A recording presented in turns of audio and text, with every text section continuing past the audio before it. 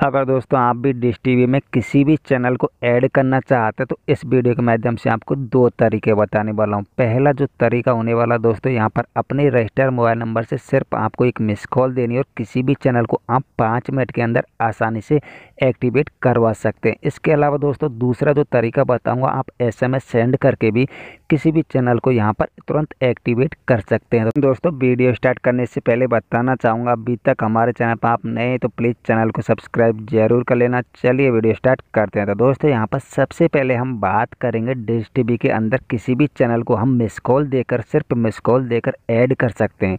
जी हाँ मैं आपको बता रहा हूँ दोस्तों, आपको कुछ नहीं करना, अपना जो रजिस्टर मोबाइल नंबर है उससे आपको एक मिस कॉल देनी है।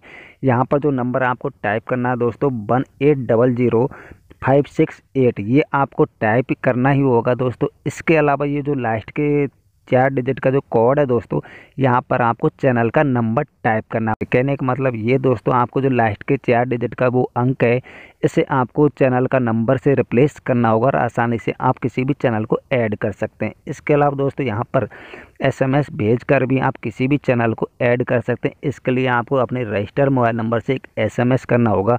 ये आपको कैपिटल लेटर में लिखना दोस्तों dash T G E eight मतलब गेट ये आपको कैपिटल लेटर में टाइप करना है। इस एसएमएस को आपको सेंड करना है दोस्तों five seven five seven five पर। इसे सेंड करने के बाद दोस्तों आप पाँच मिनट के अंदर किसी भी चैनल को आसानी से एक्टिवेट कर सकते हैं। और इसके अलावा दोस्तों यहाँ पर जो दूसरा तरीका भी मैं आपको बताता हूँ, इसके कस्टमर केयर को भी आप कॉल कर सकते हैं। Nine five zero one seven nine five zero one seven पर भी आप कॉल कर सकते हैं और किसी भी चैनल को आसानी से एक्टिवेट करवा सकते हैं। दोस्तों वीडियो अच्छी लगी तो वीडियो को लाइक और चैनल पर पहली बार आए तो प्लीज़ चैनल को सब्सक्राइब ज़रूर कर लेना।